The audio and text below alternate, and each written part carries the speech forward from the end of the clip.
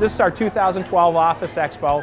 We have about 20 vendors. We have about 350 customers here today. We have a map with all the vendors on it and they go around and get those signed off by each vendor. The customers are going to learn about new products, new ways to use them, get samples, and then they're eligible for prizes. We've got iPods, iPads, staplers, probably 50 prizes to give away. I like coming to these events just because I get to meet a lot of their customers and actually be able to talk about Humanscale and the benefits of what these tools can provide users in their workstations. This is really a terrific opportunity for DBI's customers to come in and see everything that DBI has to offer. And it's also a terrific opportunity for us to be able to share some of the programs that the customers may not get to get all the details on on a regular basis. So it gives us a chance to really talk with, uh, with DBI's best customers as well.